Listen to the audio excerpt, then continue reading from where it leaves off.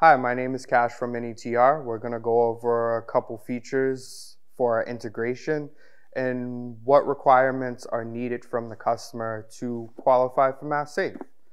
The first thing is you need a smart thermostat, whether it's an Ecobee, a Nest, it just has to be a smart thermostat that can connect to the internet and can be connected to an app, meaning an iPhone, an Android, or any mobile device. And then secondly, you're gonna need a Flair puck device.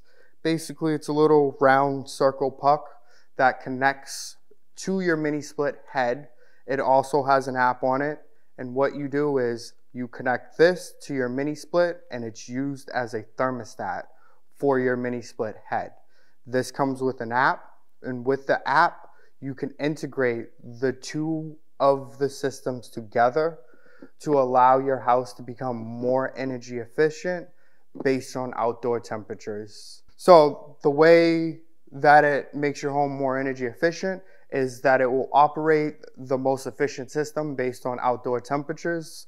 If it's in the lower temperatures, you want to run your fossil fuel because it's not going to consume so much energy.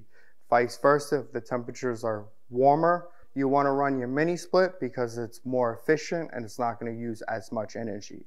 And as they work together, they have the potential to save you quite a bit of money a year on your electric bill.